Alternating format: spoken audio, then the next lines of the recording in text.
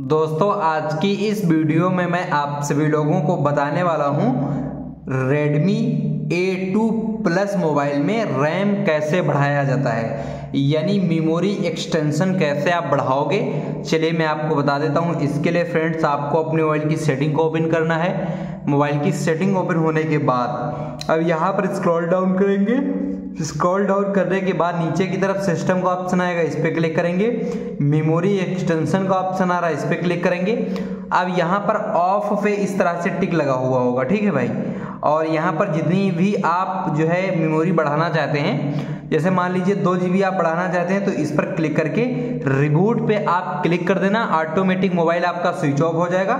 Switch off होने के बाद थोड़ी देर के बाद ओपन हो जाएगा तो उसके बाद रैम बढ़ जाएगी आपके फ़ोन में।